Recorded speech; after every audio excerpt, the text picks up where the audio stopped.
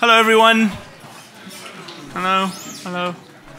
Uh, so, um, I was just explaining how to some friends of mine, like, never try give two talks at a conference. It's just the worst idea. Um, so I, I did something really dumb. I didn't back myself, so I submitted two talks, and then the bloody organizers accepted both of them. And, and the problem is one of them is like, a, I had to put more effort in because it's the keynote. So this is like the runt of the litter. So I'm completely fine if you need to leave. Okay. So uh, what this talk is about, it's a technical talk. It's not, it's not like the, the keynote. And it's not even really a security talk. So I'm extra okay if you want to leave. Hello, no problem. Um, all right, so uh, one of the things I'm really interested in is optimizing stuff, making it go faster. And I'll explain some of the reasons why. Uh, so this talk is about optimizing hacking tools. And uh, I really like Rust, so that's why there's a crab on there. So people who know Rust know why there's a crab on there, but just to explain it, because there's like a crab on every slide, and you might not get the joke if I don't explain it. Rust people call themselves rustaceans. It's like crustacean. And that's why the mascot is a crab. So that's why I've got crabs everywhere, not because I have some weird thing for crabs. okay, so like just one of the greatest hackers in the world is this guy named Halvar Flake. Uh, he kind of invented large swathes of the reverse engineering field. He was one of the original founders of Google's Project Zero after Google bought his company, uh, Bindiff. Um, and he's just done amazing stuff. Like, have you heard of the Rowhammer attack? Yeah, that was him. Obviously, there were other team members. So his real name is Thomas uh, Julian. This is Julian, right? I've only ever known him as Halvar Flake. He once explained why he is called that, and I don't remember. I don't remember. Do you remember? Yes. Thank you. Yeah, there was a Viking comic called Halvar, but was he called Flake? I think the Flake is a, you know, anyway, it doesn't matter. Least important part of this. So what's interesting about Halvar, apart from the fact that he's this really excellent hacker, is he left this information security industry to get into the uh, performance optimization industry. So he built a company called Optimize with a Z, and it just got bought by Elastic. And uh, it was really interesting. He gave a talk at QCon earlier this year where he spoke about his reasons. And he talked about three reasons that resonated with me. So, uh, uh, sorry, to be clear, what those reasons are are why would you engage in performance work and leave security work to do it? So the first is what he called the death of economic Moore's law. So if you're familiar with Moore's law, it's this idea that the number of transistors doubles roughly every year. The economic impact of that is that computing power gets cheaper.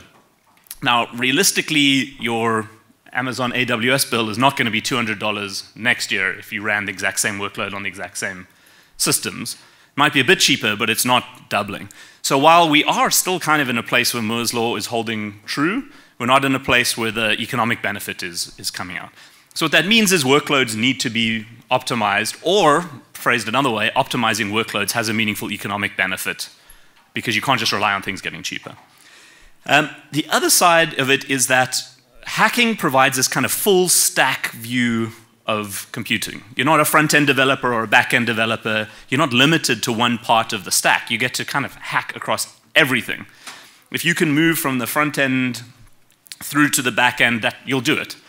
Uh, Haroon, who's one of the early people at SensePost, once said uh, security is just a career of constantly going deep. You find something, you go deep all the way, and then you move on to the next thing because you're just moving through the stack the whole time. And performance gives you the same opportunity because the performance optimizations could be at any, any layer. So you get that same kind of hacker joy because you can deal with large code bases and move across full stacks. And then the last part, which he experienced certainly a lot more than I experience, nobody asks me to write cyber, cyber weapons, um, is that a lot of the work he was doing on the security side could have significant implications on the health, safety, and security of people. Uh, and sometimes you can write vulnerabilities, you can discover vulnerabilities or write exploits that end up with somebody being dismembered in an embassy somewhere, which is a really unpleasant outcome from some of this work, uh, the spy versus spy aspect of it. Whereas with performance, you don't have that problem. Plus, with security, like no one will love you for the work that you did. They'll just be like, okay, thanks for calling my baby ugly. I guess I can go fix it. at the best part, but at the worst part, they'll be like, I'm going to sue you, pew pew. But with performance, everybody loves you. They're like, oh, sweet, this is faster and cheaper. Great, we'll do that. And it's got other benefits like the environmental efforts. So, yeah, it was, it was interesting to me that there was this very influential person, certainly in my life, saying these things at a time when I was getting quite excited by it. Uh, the reason why I focus on performance, um, slightly different but somewhat related. So the first one is uh, I used to work with a guy named Marcus Slaviero, he's now at Pfingst, and he once told me good hackers always do two things at once. So when you're hacking into something, you've got some long running thing going on in the background while you do something. The simplest example would be you're running Nessus in the background or some kind of web application scanner while you're manually poking at things. But there's lots of opportunities where you can write something long running, even if it's shitty, just to be gathering information, which might help you later on. And in security, pretty much every vulnerability can be discovered or exploited through a brute force. Whether that's the right thing to do is a different story. Whether it's the most, it's definitely, it's never the most efficient. But this like time, time effort trade-off exists all over the place in security. So writing brute forces and being able to make them go fast can be very beneficial for discovering and exploiting security problems. That's kind of the whole premise behind fuzzing. But pretty much all vulnerabilities fall into the you could find them through fuzzing um, category. Uh, then uh, it just improves. The more you learn about this, the more your code gets better, which is quite useful. Like it's not something that you do once off in one place and then it's, it's useless. It's something that you can keep reusing in lots of other places.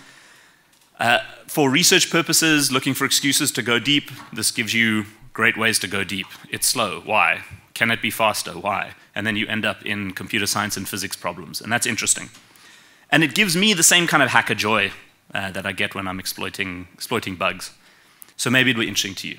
Okay, so now I want to get into optimization part. So there's two, kind of two parts to this talk. Maybe you're noticing a theme.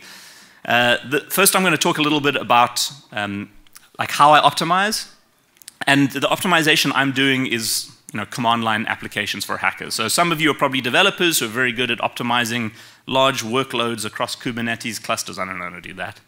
Um, and some of you are probably very good at writing programs. I'm, like, I'm, I'm sort of sitting at the intersection of doing a bad job at a lot of things, but maybe it's enough of an overlap of some of those things that's interesting to you. And then the second part of this is I want to talk about uh, some specific problems that I faced while writing an NT password cracker, which I thought were kind of interesting. Maybe you would too. Okay, so let's get into an optimization primer. That is Donald Knuth. Donald Knuth is a famous computer scientist. Maybe you've heard of him, maybe you haven't heard of him, but he's built just like a ton of stuff that computer science relies on. And way back in 1974, he had this famous saying, premature optimization is the root of all evil. So when you're optimizing something, the first trick is to not optimize and just make the thing work. Because if you try too hard to optimize it in the beginning, you end up in all sorts of difficult situations. And you also then can't improve cleanly from like the worst case. So just write it, it'll be fine, and then you can develop a benchmark and improve on that. The next is what kind of benchmark do you want to develop? So large majority of the time, real computer scientists are looking at like optimizing CPU load, optimizing in kernel time, optimizing memory, there's all sorts of things there. I'm just interested in optimizing runtime. I want this thing to go as fast through the time, they call it wall clock time the time I experience in the real world. Um, that's what I'm optimizing for. That's not really something a lot of real optimized people seem to, to focus on, but things like CPU and memory are a, are a way to get into that. So the benchmark I'm going to develop most of the time is how long did it take. And then you can use profilers to try and figure out why things are going slow. But you kind of need to do some work beforehand to understand what the hell the profiler is saying, and then you need to do some work afterwards to understand why the hell the profiler is saying that. And then you need to do a bunch of fiddling, much like in hacking. You might have a hypothesis, but the actual hacking is when you're sitting there and iterating and fiddling and not sure why, and trying to figure out why when you made this change that happened. So you do a lot of that to then try and work out uh, what kind of changes are happening in the profiler and why. So let's go into a simple example. If we have, uh, this is the problem we want to solve. If I give you some string, we want to create every permutation of that string. You can kind of see the, the benefits from a password cracking perspective here. Okay, so if we want to write a program to generate that, I'm going to write the simplest possible program. So it's in Rust, but I've tried to keep it simple, and you don't really need to understand too much of it. So I'm just, you see the thing in brackets, the 0 dot dot 10, so I make a range. Um, because it's Rust, that's actually 0 to 9. Uh, and then it's creating permutations of length 10. So it'll say 0, 1, 2, 3, 4, 5, 6, 7, 8, 9. 1, 0, 2, 3, 4, 5, 4, 6, 7, 8, 9 etc. It's creating a whole bunch of permutations there. So I'm not using ABC because it needs to run long enough to, for my computer to actually do something meaty. And then I just got a very simple for loop that goes through and prints them out, and it uses the default debug pretty printer to do that. Okay, so this is going to be the I'm not optimizing this thing, there's no premature optimization, uh, and I want to see what that looks like. Okay, so I'm using a tool called Hyperfine. You're going to see this a lot. Let me explain what you're seeing there. So Hyperfine, written in Rust, irrelevant to this point, is a way for timing how long something takes when it runs, and it's pretty good at comparing the speed of that against other things. So you'll see some switches there. The first one is W, so that says warm up. So it does two runs where it doesn't do timing. It's just running those so that your computer warms up its caches, puts things in memory, all of that kind of stuff. Otherwise, you have this problem where the first run is always slower than later runs because of it. Then R is the number of runs to do, because you have to watch how long this takes. I've made it three, but you, know, you can probably make it higher if you're doing this in real life. The L switch is, is complicated, but we need it for later. So this allows me to run lots of versions of this and compare the speed against them. I'm only running one thing now, so that doesn't matter, but later it's going to matter. So I define a variable called variant, and I only give it one, which is a-vanilla. So I've got a directory called a-vanilla, which has the first version of this code that I just showed you in it. So it runs it. Okay, then it gives two lines of output. The second green thing, on the, so 3.164, that's the mean time. So the, the, the run which was the most average of the runs. So that's a pretty good one to look at to understand how long this thing actually took. And then underneath, you've got the minimum, you've got the maximum, you've got how much time it's spent in kernel, how much in user space. But mostly, we just care about that one number. Is my cursor? Oh, good, my cursor works. So that's the number we're going to look at for most of these things. All right, so we wrote the simplest possible version of this code to generate these permutations, and it runs in three seconds to generate all of those permutations, 3.1 seconds. So how do we make it faster? Now, you can try and fiddle a whole bunch of different things, but generally, the first thing I do is I add a buffer. So buffers are a really good way to make sure that two things that don't match their producing and consuming time uh, can go a little faster. That's not why this buffer is working here. I'll get into that in a moment. So what we've done with this code is we've, it's the same code as before. We've just added a string called buffer, unimaginatively. There it's generating permutations in the same way. It's looping through them in the same way. But what it does is it's writing the permutation to the string rather than to the screen. And then it checks once it's bigger than a certain size, it prints that out on the, on the screen, and then it clears the buffer. Okay, so we're just adding a, a buffer into it. The reason this works here is because the cost of writing to the screen is quite high. So by only writing to the screen, writing a lot to the screen rather than lots of little things to the screen ends up with a bit of a performance speed up. And I'll show you in a bit. Okay, I should have gone to that slide because I'd helpfully highlighted all of the bits I wanted to show you. All right, so now when we run this, we want to compare it against the first run. So I'm running the original one again, and frustratingly, you're going to have to feel those nine seconds it takes to run. Well, no, there's the warm up too, so 12 seconds, 14, 15 seconds. Adding threes. Who knew it was that hard? So now that feels really slow. Okay, then we run version two, and you can see it's much faster. So it's sub one second, it's at 884 milliseconds is the mean time. So we managed to dramatically increase the speeds 3.58 times faster by just adding a buffer. Wonderful. Okay, so we did some fiddling, some premature fiddling, we got some speed ups, that's great. I'm not saying the solution to all optimization is add a buffer, but a lot of the times it is. Uh, and you might, maybe there's programmers in here and you go, oh, that's really obvious. But for the rest of us, you go, well, I mean, like, am I just dumb? Do I not know these things? And I wanted to point out that it's not that obvious to everyone. So this is Atom, the guy who created Hashcat, arguably like the most prolific speed up optimizer on uh, modern computers when it comes to hacking tools, adding a buffer to his version of permute uh, because it made it go faster after we had an argument on Twitter. and you can see first version was committed in 2015, and then there's his buffer update in 2019. Okay, so that was kind of poking around, getting lucky, but hopefully gives you a taste that you can make things go much faster. You can live much more of your life not staring at a computer screen because you made things go faster. Up to 3.5 times with just one buffer. I hope you're buying what I'm selling. Next, we're going to use a profiler.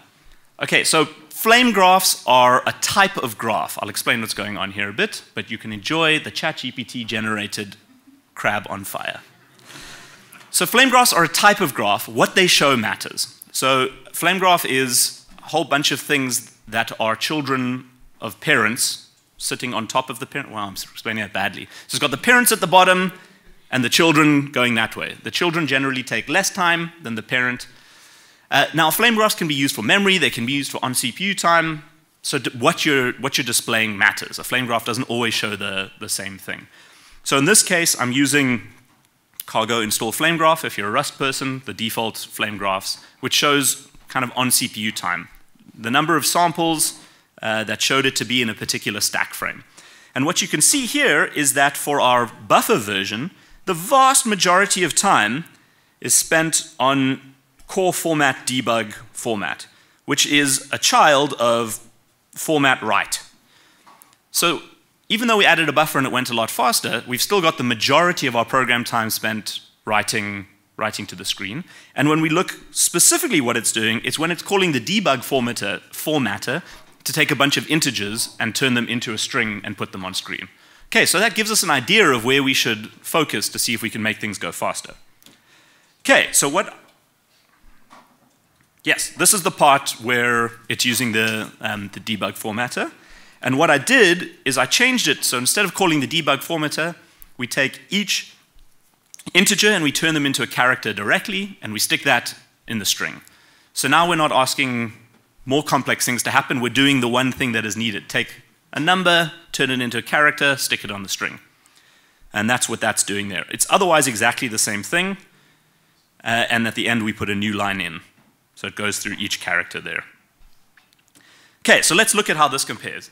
Was it 15 seconds? I should press start on these things sooner so that we don't have to physically wait for 15 seconds. But I wanted you to feel the visceral pain of how long and how irritating three extra seconds, unnecessary seconds, needs to be on running this thing.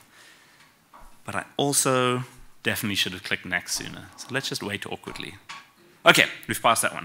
All right, so this is our second one, which we know ran in about just sub 900 milliseconds. And our last one, we're down to 169 milliseconds just by getting rid of the, formatter. So that's at nearly 19 times faster than, than version 1.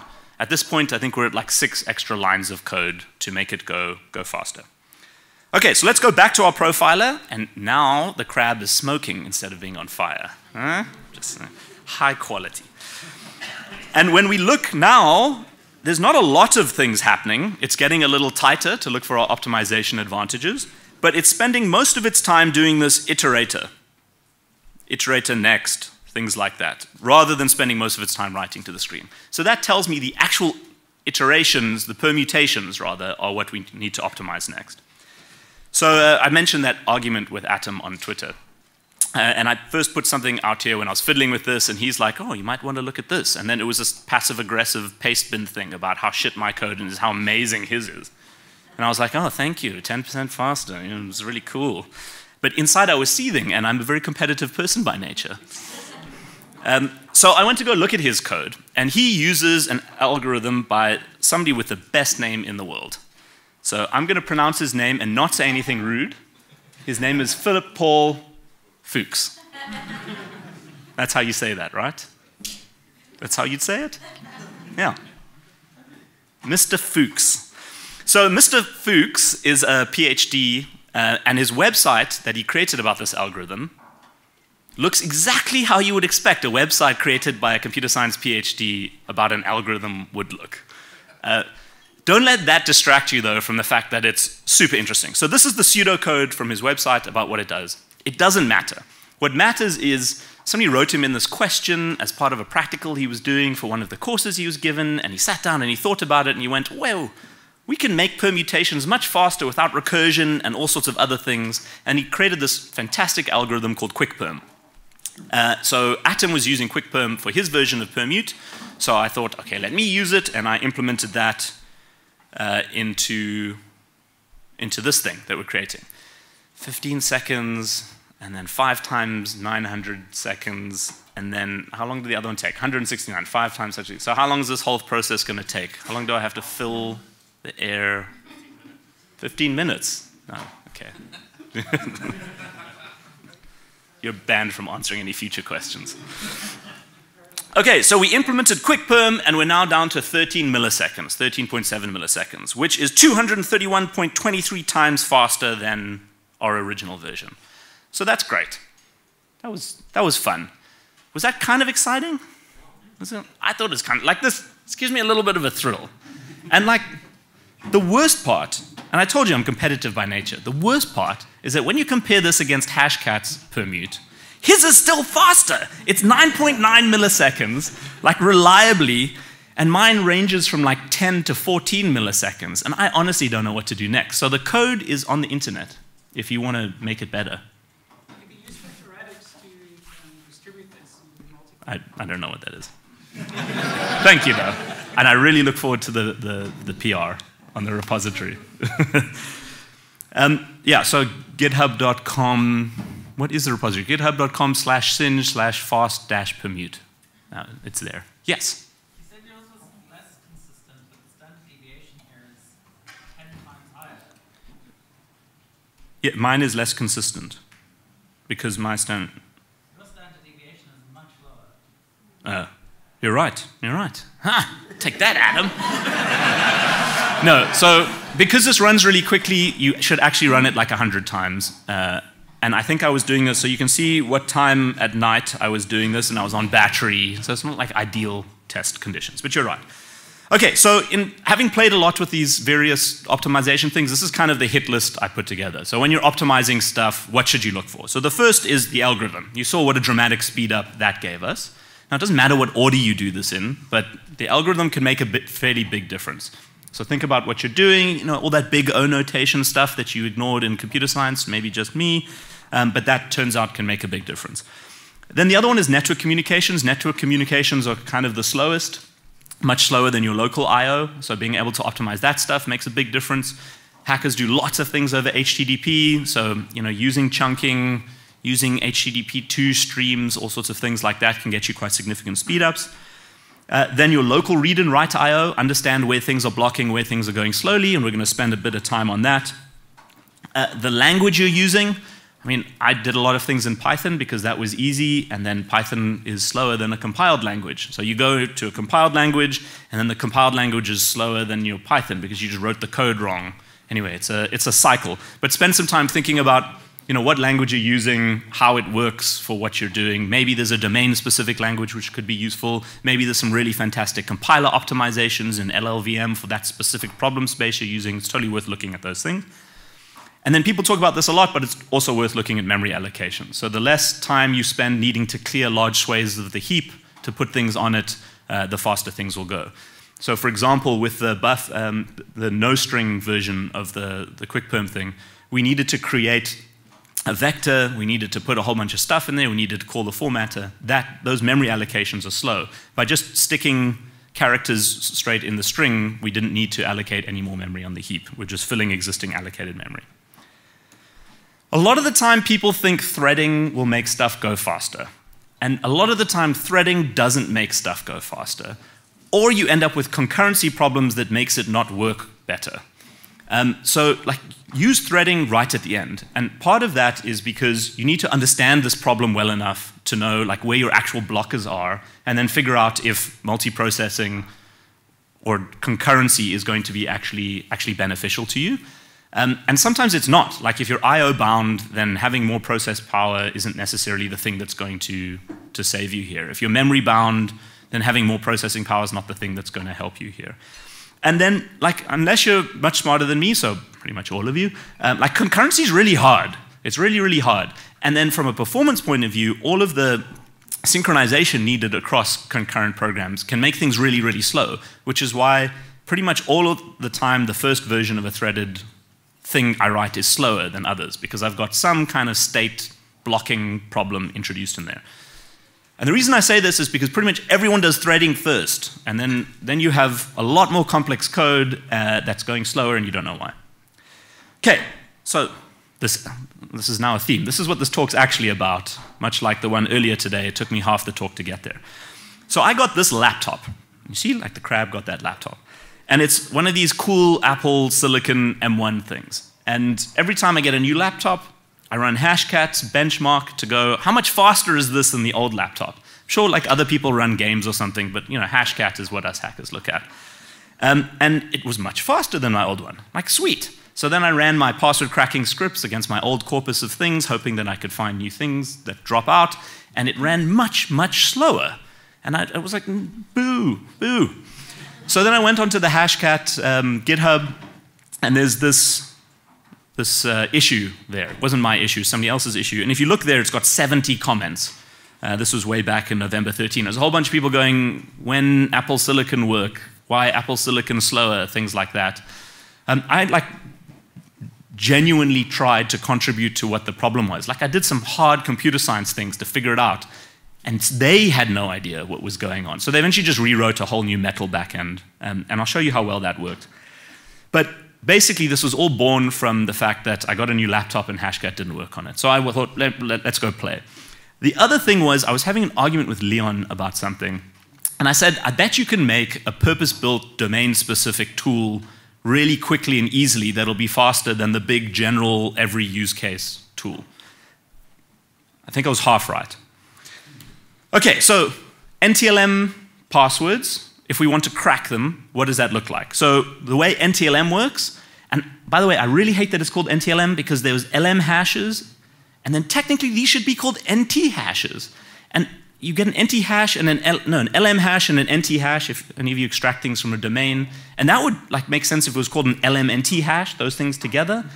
So why don't we just call the NT part an NT hash? So I just started calling it an NT hash, and then Microsoft people on Twitter were like, no, it's not called an NT hash. Here's the documents.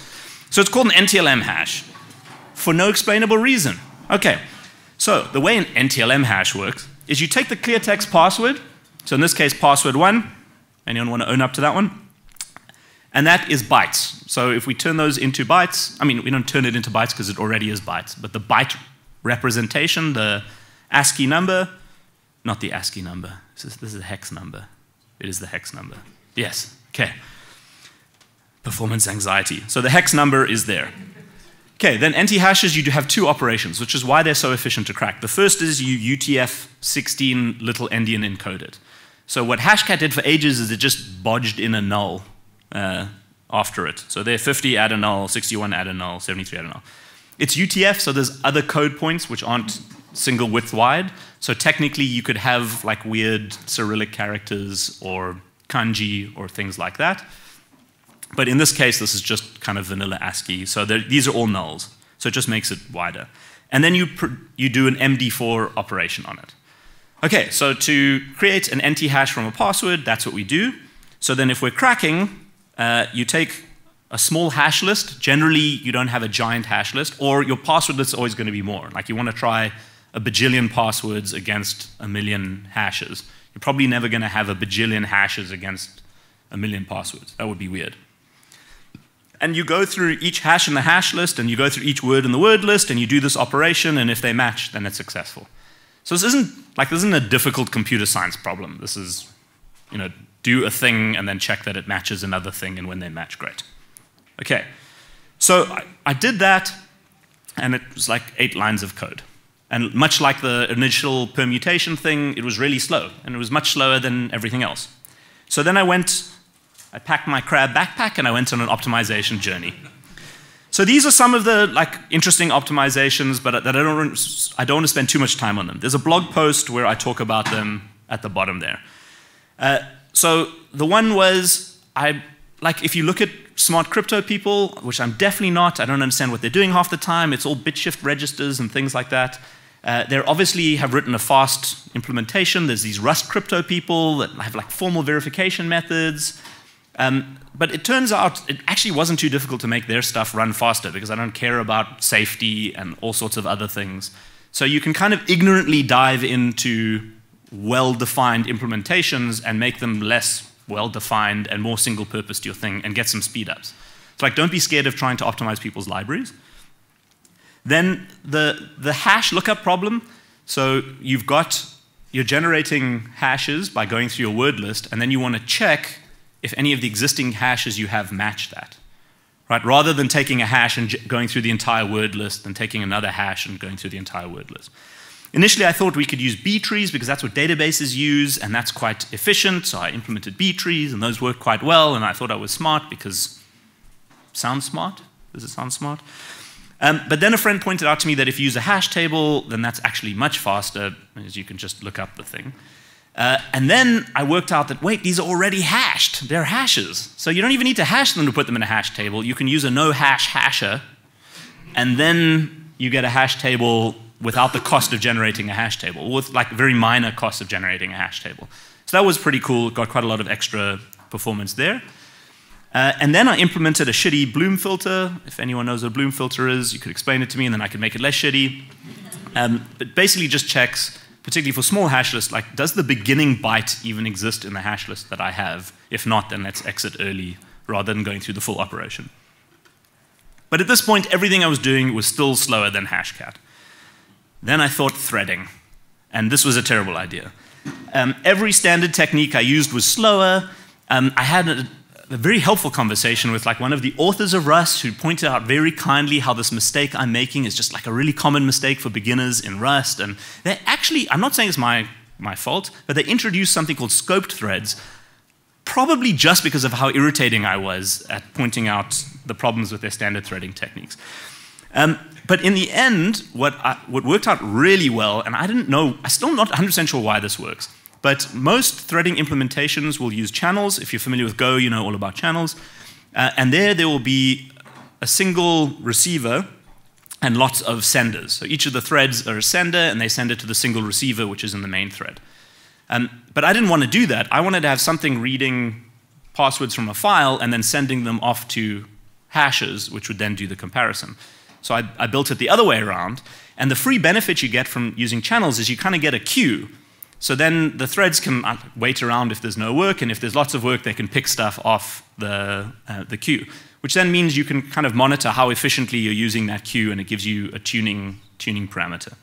So all of that stuff I thought was kind of cool and interesting.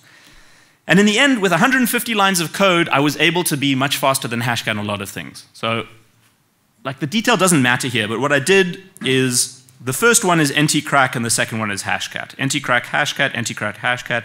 Just ntcrack because hashcat took 10 minutes to do that one, and then ntcrack, hashcat. And in all of those, if you're looking at that number there, ntcrack was faster than all of them. So I did the victory dance, I wrote a snotty tweet at Atom. He's a really great guy, and he does fantastic work. I don't really have beef with him. Um, and Hashcat is still an infinitely better tool because it works on every piece of hardware in the world, and it can do every hash. I wrote 150 lines of bad Rust, so like, let's not overcook the, the real achievement here. But still, I was kind of chuffed. Anyway, I put it to bed, I was done. Then Matrix, who's the guy who actually implemented all of the Apple Silicon stuff on, um, in Hashcat, really nice guy, despite the fact that he's Italian. No, I'm kidding, he really is a cool guy. Um, and he does just like an amazing, you know, like all of these developers, they do all this amazing free work to contribute to this project, and I'm infinitely grateful to, to them. Uh, and he sent me this message. I've done some tests with much larger word, word lists, and I didn't get the math you blogged about. I was like, oh, he's probably running it wrong or something like that. Anyway, I checked, and he was absolutely right. The second we got to like over 10 gigs as a word list, then suddenly Hashcat was so much faster. I'm like, why? Why? Okay, how to read a file. If you go to the Rust handbook and you type in how to read a file, it tells you do this. This is the exact thing that's on their webpage. You get the file path, and then you put the entire contents of the file in memory, and now you have the file. So technically, that's the one line there, fs read to string file path. Now that doesn't make sense if you've got like a 100 gig file, you don't have 100 gigs of RAM, so you can't, you can't do that. So that's not going to work. You're to have a bad time. Um, so if you Google how do you read a file fast, in almost every language, there'll be some kind of buffered reader. So how do we make things go faster? We, thank you. This is, I'm gonna start a sports team. You guys are great. Okay, so the only code we've really changed here is we've added, so a block size, you've got to choose how big your buffer needs to be. Um, the trick is to just test for that, run it across a bunch of ranges, see which is the fastest. Uh, we create a buffer which is of the size of the block, and then we go through the file, dividing it by the block size, and we read just those blocks. Okay, so when you do that, it goes, it goes faster, because we have a buffer, much like the other. But then, no. oh, there was an animation. Look at that. That was a pointless animation. I made a whole animation just to put ER on the end. Oh. Okay, so then this is a slide stolen from Helvar in that QCon talk of his. And he pointed out that like a lot of our assumptions about how we read from files are based on old, outdated ways of reading from files. How much time do I have left? Yeah. Uh, and so what you're saying is modern NVMe SSDs have lots of internal parallelism, whereas old spinning Rust doesn't. So those of you who have a little more gray hair on the sides or a little less hair on the top, will remember the days of hard drives, which was spinning Rust, uh, and you've got this like single read head, maybe if you like had two read heads, but what that meant is if it needs to read from a lot of places on the disk, it's got to spin it around to, to do that. So the way you read fast from disks is making sure that the data is next to each other and that you read it sequentially. And so you, like how the data was organized on the disk really matters. But like modern hard drives don't work that way, according to Helvar. What does he know? So I thought, let me test, because you can't take his word for anything. No, I'm kidding. This is, is this recorded? Oh. Definitely getting in trouble. Um, so, so I thought, let me try threaded file reads then. I mean, this is like the universal wisdom that this is a bad idea. In the old days of having a head, it would have to read here and then jump over here. Everything would just go slower. Um, and so the, on the one hand, it's a little difficult to do it. Like, it wasn't obvious. You know, at first I had one file handle and tried to have lots of threads reading from it, but then eventually worked out, no, you need to have a separate file handle opened for each thread. Uh, but we implemented it, and let's check. Okay, so now we're going to run all of those different things we spoke about. We're going to just read from the file vanilla. We're going to um, add the buffer, and then we're going to do threaded file reads. So we're at 1.6 seconds for the vanilla, the buffer, we get to 358 milliseconds, and then threaded file reads are like half of that at 143 milliseconds. So it turns out that like using threads goes faster on file reads. Who knew? Like Helvar. Helvar. Um, but so this problem kind of related to the problem I was having with trying to make my shitty Rust code run faster than Hashcat. And um, the, it, when it came down to was hashing. So, not hashing, caching. Now I've gone too slow. So DD, we're reading from a file, we're putting it to dev null at a certain block size. This is going to repeat. We'll see it again. And when we ran the first DD, repeat, there we go. Uh, you can see the speed over there, 116.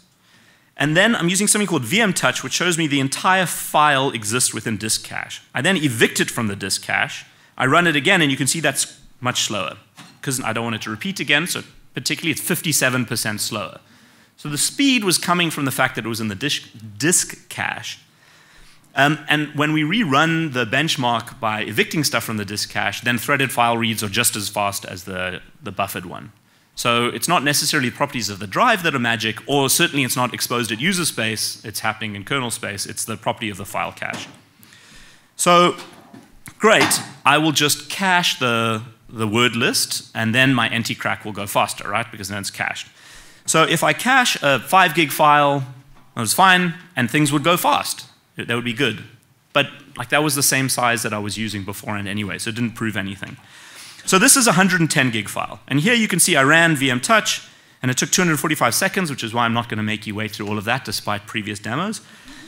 Um, and it shows that the entire thing is in the file cache. Great. Except it's a lie because your file cache isn't big enough to hold 110 gigs in there. So when you run it again, it actually shows that the last part is in the file cache. Now you can imagine from a password cracking perspective, that's super inefficient. It's basically sticking stuff into the cache after you've dealt with it and you're never going to use it again. So it's caching in the wrong way. So there's all sorts of things you can do to try and figure out like how to make that go faster. There's fadvise and madvise. Maybe you know what those things are. These are ways of trying to signal to the kernel how you're going to read the file to speed things up. None of those did anything. Um, and in the end, what I did is something I'm going to show you. Okay, so for a live demo, you have to sacrifice a chicken, which is why that crab is chasing a chicken, and I didn't sacrifice a chicken. And this needs to be bigger. And I need another one because I realized I closed the desktop where I had these demos set up on like an idiot.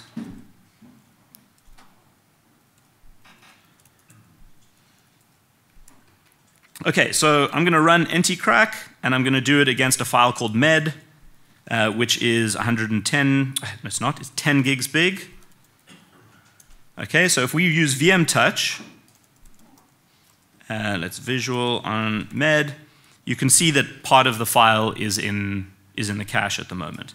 So what I'm going to do is I'm going to evict it, and now if you look at it, you can see nothing's in there. Now I want to keep an eye, like a, my eye on what, uh, what is happening there. So if we go to med, we, I, I now want to watch every second uh, what's sitting in the file cache. Now when I run ntcrack, you can see there's like a worm, that thing's going along caching chunks. So what I did is I just changed the behavior to cache the part that we're going to use, and then evict it and cache the next part that we're going to use, which made things much faster.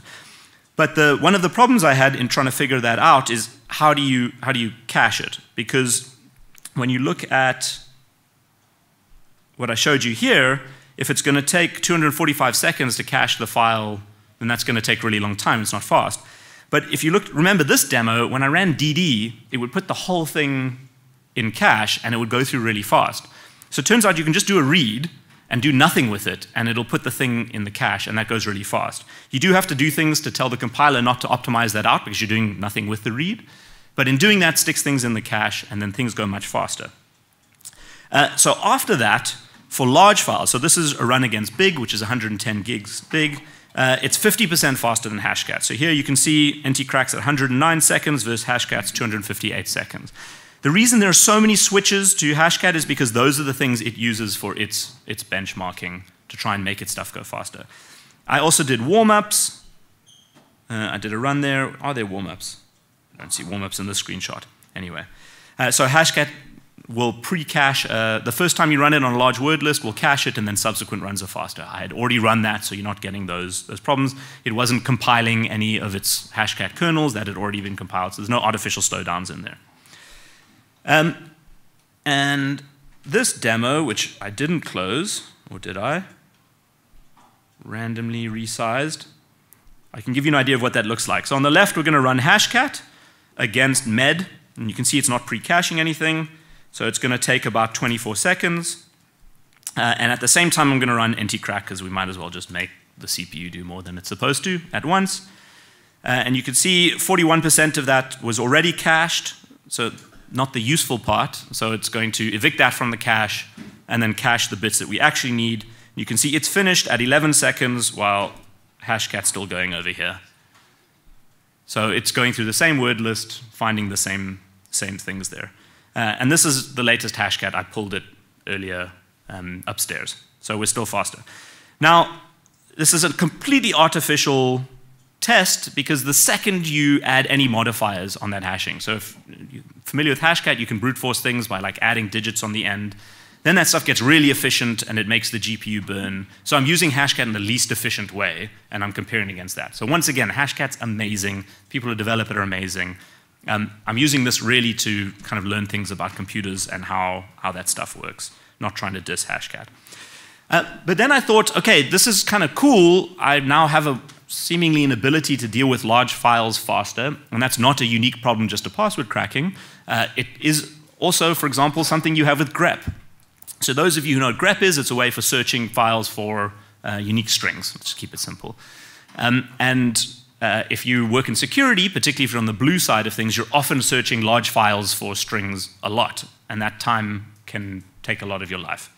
So what we all do is we move to ripgrep because it's much faster, also an amazing tool built by this guy named, um, actually I don't know what his name is, Andrew something, Burnt Sushi, only know Nix. Um, but ripgrep's kind of like the gold standard for the fastest grep. So here is, um, I ported this technique over to grep, which I called syngrep, because singe and grep, yeah. Um, and here's, so uh, it says anti-crack, no, there we go. syngrep, whoa, running against ripgrep, and you can see ripgrep takes 7.8 seconds, whereas syngrep is taking 3.5 seconds against um, that same file.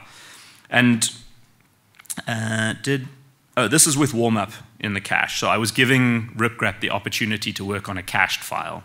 So it had the same speed advantages as syngrep had. So this wasn't the, the file caching necessarily that was helping.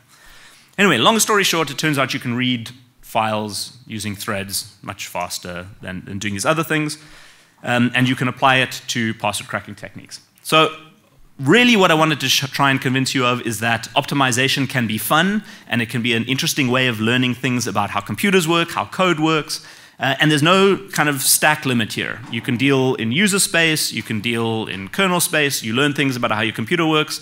At some point, I'm reading kernel code to understand how Mac OS and Linux file caching are working, and it's a great way to learn things. I'm also not suggesting you leave security to go into performance optimization.